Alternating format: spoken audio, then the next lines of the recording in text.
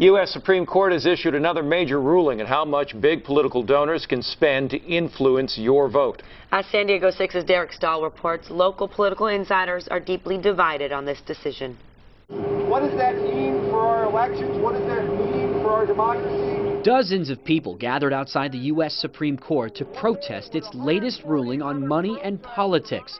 The court ruled 5 to 4 to strike down overall contribution limits as unconstitutional. It's a move conservative political consultant John Dadian supports. It's basically a First Amendment free speech right.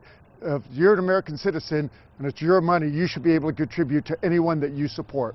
Under federal law, people can only give $2,600 to a candidate. That hasn't changed. The court's ruling strikes down the overall donation limit of $123,000 every two years. It's a limit very few people reach. Construction CEO Douglas Barnhart is one of only two San Diegans to hit the limit since 2012. I do not think that you can buy elections, and I think that's been proven over and over and over. What I do think is important is that you, each candidate gets its message out.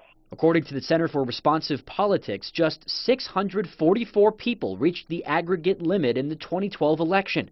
George Mitrovich, former press aide for Bobby Kennedy, says the court's ruling hurts most everyone else. The whole idea of, of a country uh, for the people, um, uh, of the people, by the people, that's, that doesn't exist. It's all about wealth. If you have money, you're a player. If you don't, we don't care about you. We don't have time for you. For those who do have the money, supporting a candidate in every single congressional race in the country is now an option. To do it would cost $2.5 million. Derek Staahl, San Diego 6 News.